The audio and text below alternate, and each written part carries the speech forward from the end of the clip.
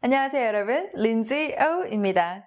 지난 시간에 배웠던 그림 묘사와 셀링 문제 복습 잘하고 계시죠? 오늘은 picture comparison, 즉 그림 비교 대조 문제를 다뤄볼 건데요. 이것 또한 picture description, 즉 그림 묘사에서 파생된 문제입니다. 다른 점은 사진 한 개만 묘사하는 것이 아니고 두 개에서 네 개까지의 사진을 각각 묘사하고 그리고 비교, 대조해야만 한다는 점입니다.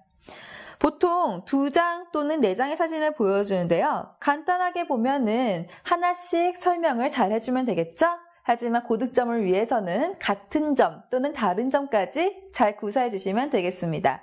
이것도 마찬가지로 패턴과 어휘 너무나 중요하고요. 지금부터 패턴, 표현 알아보도록 하겠습니다. 다음과 같이 두 개의 그림이 나와 있을 때 A 그림 그리고 B 그림 어떻게 표현해야 될까요? 그렇죠. A는 왼쪽 사진, 오르, 오른쪽에 있는 B 그림은 오른쪽 사진이라고 표현해 주시면 됩니다. 제가 영어로 표현하는 거 답부터 알려드릴게요. The picture on the left. The picture on the left. 그리고 the picture on the right. The picture on the right. 이렇게 표현 가능한데요. 제가 왜 영어부터 알려드렸을까요? 그렇죠. 굉장히 많이 들어본 표현들이죠. 익숙할 거예요. 왜냐하면 우리가 그림 묘사할 때 한 사람, 한 남자가 사진 왼쪽에 있다라는 표현으로 a man on the left of the picture 이라는 표현 썼었어요.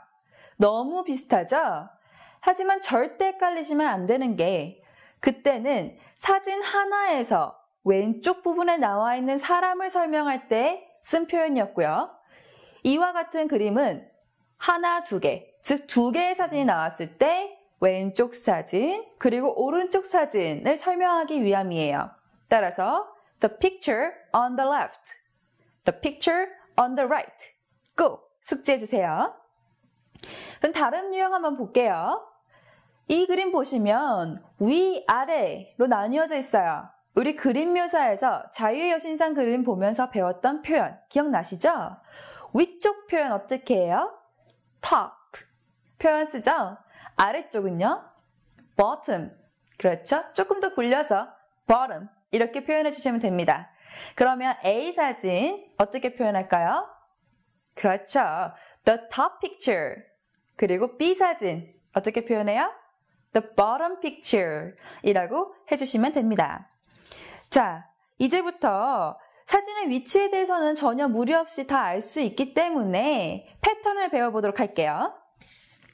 먼저 문제 유형은 Please compare and contrast these pictures. 이 사진들을 비교, 대조하세요 라는 문제가 있어요. 여러 개를 보여주기 때문에, 즉 두 개 이상을 보여주기 때문에 these pictures 라는 표현 쓴 거 꼭 알아두시고요. 그거보다 조금 난이도가 있는 문제 Which one do you prefer? 당신은 어떤 것을 더 선호합니까? 라는 문제가 있는데요. 이것은 다음 시간에 다루도록 하고요. 오늘은 가장 basic, 즉 기본 문제인 Please compare and contrast these pictures 문제 유형 보도록 하겠습니다. 먼저 가장 좋은 패턴은요.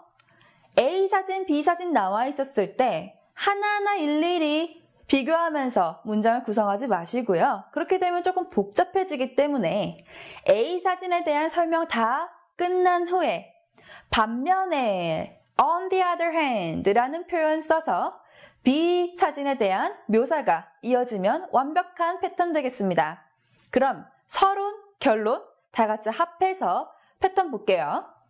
먼저 서론에서 I will compare and contrast these pictures 내가 이 사진들을 비교, 대조하겠습니다. 한 번 언급을 하는 거예요. 시간을 벌기 위함이고 또 논리적인 답변 구성을 하기 위함이죠. 이 문장 꼭 외워두셨다가 써주시고요. body 1에서는 the picture on the left is 즉 왼쪽 사진은 이라고 표현해 주었어요. 그 다음 picture description 즉 그림 묘사가 들어가면 되겠죠. 다음 body 2 본론 2에서는 On the other hand, 반면에 the picture on the right is 오른쪽 사진은 이라고 설명을 이끌어 나가 주었네요. 너무나 논리적인 답변이에요. 다음, conclusion.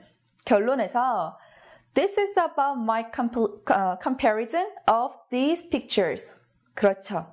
이것이 나의 비교대조였습니다. 이 사진들에 대한 이라고 표현해 주었어요. 이렇게 간단한 패턴들을